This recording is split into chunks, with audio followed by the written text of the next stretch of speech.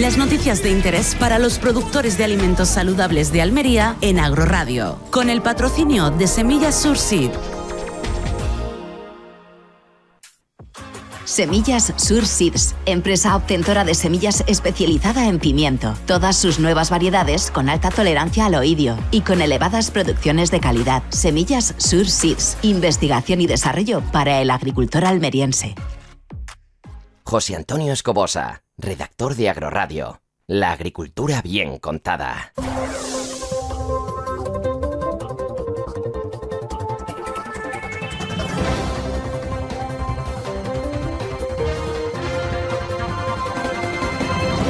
Muy buenas y bienvenidos a la sintonía que da voz al sector primario. Estamos en Agroradio, emisora líder de la agricultura en la provincia de Almería. Recuerda 103.0 en el dial de la FM y que siempre intentamos darte la mejor información.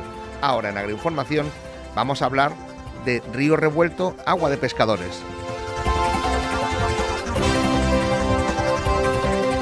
Tenemos al otro lado del teléfono a Andrés Góngora, responsable estatal de frutas y hortalizas y secretario provincial de Coagen Almería. Buenos días, Andrés. Hola, buenos días. Pues, eh, como dice el refrán, agua de mayo no siempre llueve a gusto de todo el mundo. El refrán dice muchas cosas sobre la lluvia, pero queremos saber si puede afectar el destrozo que ha hecho el granizo en otras zonas productoras a nuestra sandía, la de Almería. Bueno, eh, está claro que, va a haber menos producción, sobre todo en los meses de, de junio, sobre todo junio, porque la, los daños más fuertes que hemos visto sobre que están fundamentalmente en la región de Murcia eh, son sandías que se iban a, cortar a partir de, de, eso, de primeros de, junio aproximadamente. Los daños son graves, muy graves, hay que lamentar que hay agricultores que han perdido prácticamente toda su cosecha. Ya tenía, ya había menos superficie que otros años porque no, no tenían disponibilidad de agua y desgraciadamente las lluvias torrenciales de, bueno, sobre todo de ayer y de, y de hoy mismo, esta misma noche, ha habido, bueno, pues pérdidas importantes. Y la granizada que ya tuvieron la semana pasada, que esas sí están más avanzada la, en la evaluación y se contabilizaron aproximadamente unas 700 hectáreas, fundamentalmente en Lorca. Ahora mismo la lluvia ha sido más en la zona de, del campo de Cartagena y efectivamente pues, afecta fundamentalmente al cultivo de, sandía.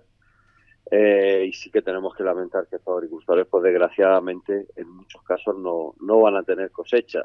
Que vaya a afectar a la sandía que todavía queda en la provincia de Almería, que queda bastante, pues puede ser, ¿no? Eh, no, no es comprensible con la poca producción que hay, eh, los precios que todavía tenemos y si se espera pues que los precios deben de empezar a repuntar ya esta misma semana. ¿no?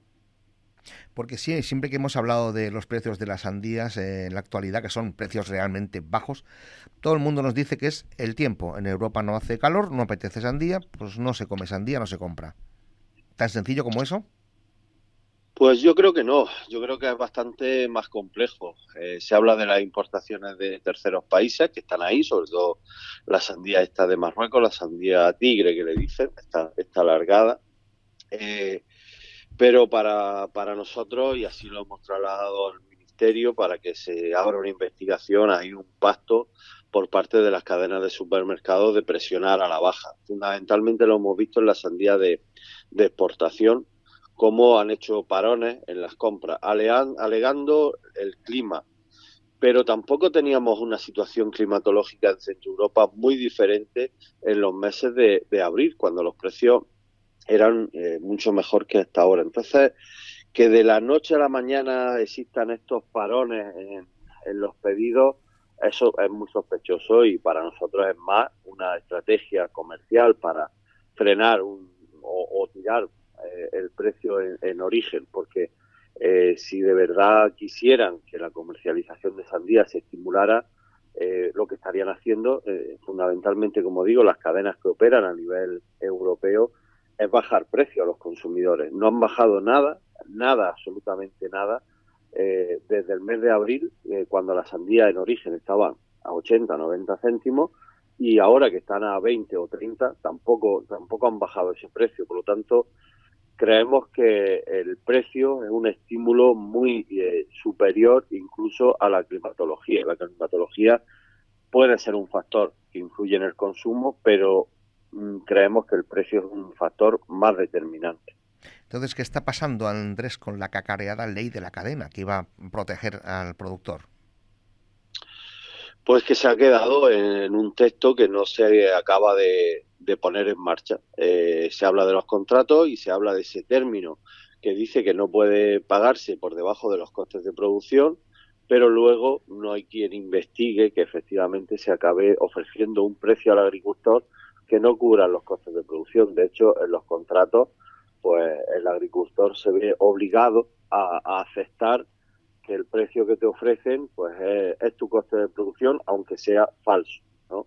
Y, esa es la, insistencia por parte de nuestra organización, que esto hay que vigilarlo y hay que investigar eh, de verdad a todos los operadores de la cadena, eh, no solamente a los que compran en origen, sino al resto de, de al resto de, de intercambios que hay a lo largo de la cadena. Y luego eh, como he dicho, en el mercado internacional, pues la ley tiene muchas carencias, ¿no? Porque cuando se habla con un operador o el contrato es con un operador que está en Francia o está en Alemania, pues la ley de la cadena española no rige en los mismos términos, ¿no? Y por lo tanto, ahí se aplica la normativa del Estado o del país eh, de destino de, la producción, en la que el término coste de producción no está eh, incluido en la ley como está en la ley española.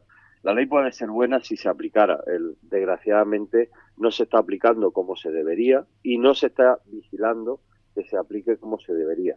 Ahora pueden subir las sandías, por, por, desgracia, por, por, lo que le ha ocurrido a los compañeros de Murcia, pero está claro que no es por un, por un impositivo legal que esté en la cadena, sino por cómo se desarrolla la campaña, eh, y esto es lo típico, esto es lo de siempre pues desde, esta, desde estos micrófonos, como no podría ser de otra manera, deseamos a nuestros eh, convecinos de la comunidad murciana que se repongan pronto de esta desgracia que ha sido perder esta cosecha de sandía. Y a ti, Andrés, gracias por atendernos siempre con amabilidad eh, y te emplazamos para otra ocasión. Muy bien, muchas gracias. Un abrazo. Ya saben ustedes que si así lo desean pueden seguir lo que acontece en este micrófono en redes sociales como Twitter, Facebook o nuestra web agrodifusión.es. En el control de sonido está Miguel Ángel Santiago al micrófono este que te habla, José Antonio Escobosa y Obregat. Volvemos en una hora. Has escuchado Agroinformación con el patrocinio de Semillas Surseed